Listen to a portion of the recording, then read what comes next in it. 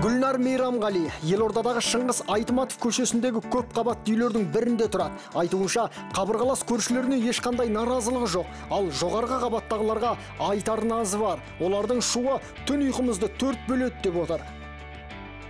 Кейде мына үстіміздегі кісілердің түннің бір уағында түнгі сағат үште мысалы жаңағы қатты шуылдап немесе музыканы барынша қосып жаңағындай сондай шу шығып жатады енді ә, күнде деп айта алмаймын бірақ арасында болып тұрады әрине.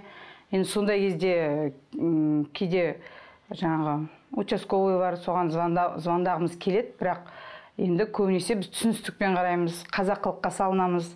Өйткені қазақта білесіз ғой енді көбінесе жаңағы қонақсыз отырмайды Бұндай шулы көршілердің енді түнгі уақытта үндері өшетін болады. Мемлекет басшысы жуырда әкімшілік құқық бұзушылық туралы кодекске өзгерістер мен толықтырулар енгізу туралы заңға қол қойды. Сөйтіп, тыныштықты бұзғандардың жауапкершілігі күшейтіледі.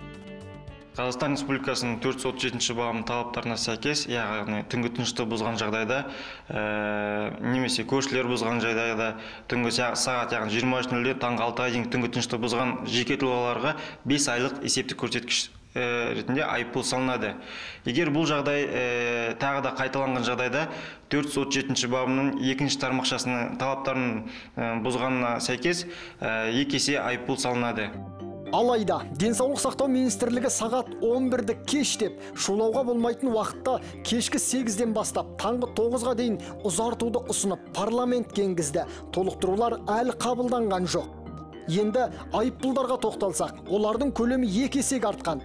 Көршілердің мазасын алатын шағын және орта бизнес өкілдеріне бұдан былай 53 мың 20 теңге, екінші мәрте қайталанса 106 мың 40 теңге айыппұл салынады. Ал ірі кәсіпкерлер мұндай жағдайда 397 мың 650 теңге көлемінде айыппұл төлейді.